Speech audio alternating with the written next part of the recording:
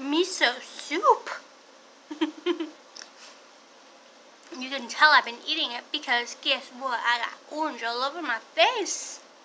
And guess what? This is the juiciest apple I've ever had. I'm addicted to it.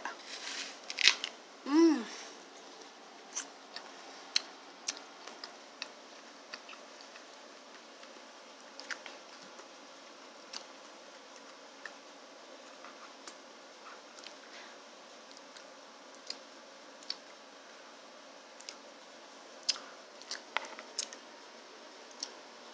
It's almost gone.